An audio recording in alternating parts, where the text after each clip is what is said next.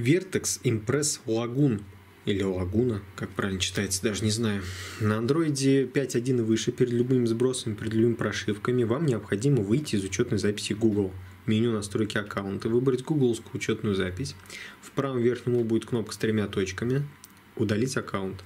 Если этого не сделать после сброса, который мы сейчас вам, я вам покажу, он будет просить вас почту гугловскую, ту учетку, которую вы вводили при активации Google Play, Play Market.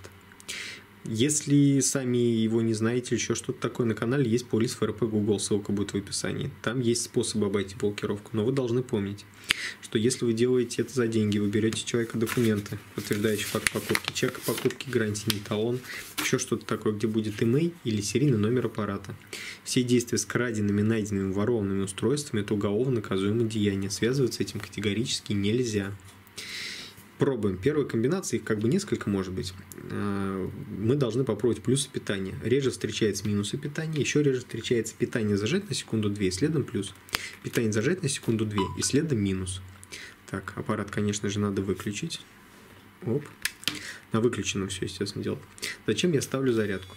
Если не знаете, какой у вас аппарат, хотите подобрать комбинацию, вставляйте зарядку и по увиденному индикатору можно примерно понять, какой у нас процессор.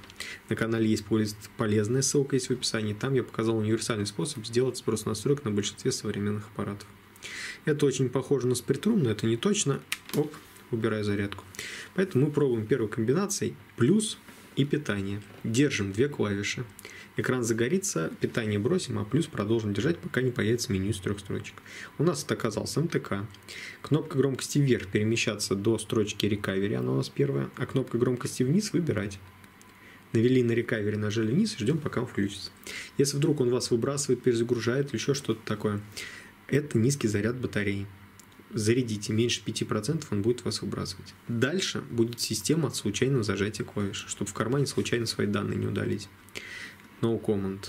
Нет, перебросил. Если вдруг пишет no comment, зеленый робот, зажимаете питание и коротко нажимаете вверх.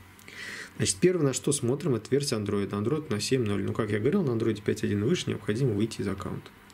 Опускаемся вниз до строчки Vibe Data Factory Reset и нажимаем питание. Опускаемся вниз до строчки Yes и нажимаем питание. Я выбрал No, потому что нет необходимости сбрасывать. Вы выбираете Yes. У вас внизу побегут строчки. Последняя строчка будет Data Wipe Complete. Это будет означать успешное окончание сброса. После того, как он все сделает, вы выбираете первую строчку Reboot System Now, кнопкой питания. Он пойдет перезагружаться заметно дольше обычного, 10-15 минут он будет включаться, включится чистый сброшенный. Если вдруг сброс настроек вам не помог, то гуглите на него прошивку, потому что сброс настроек убирает далеко не все косяки. Берете тему аппарата, своего аппарата на 4 PDA, берете тему с прошивкой и прошиваете. Если первый раз с этим сталкиваетесь, то вы должны знать, что аппарат должен быть заряженный, с аппарата все удалится. Если что-то делаете по незнанию или еще как-то, я рекомендую обратиться к специалистам, потому что иногда аппарат, особенно при прошивках, по незнанию можно ушатать. Все самое интересное, важное, полезное с моего канала в полисте полезное, попасть может с главной страницы канала, вы вступайте в нашу группу ВКонтакте, ставьте лайк под видео и подписывайтесь на канал.